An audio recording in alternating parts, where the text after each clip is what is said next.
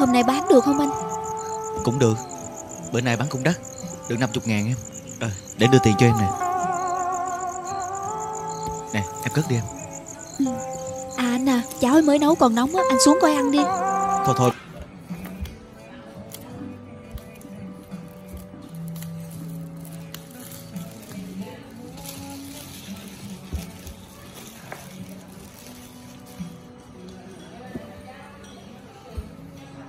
nông hai cái bên rộng là nó dễ ra nhất.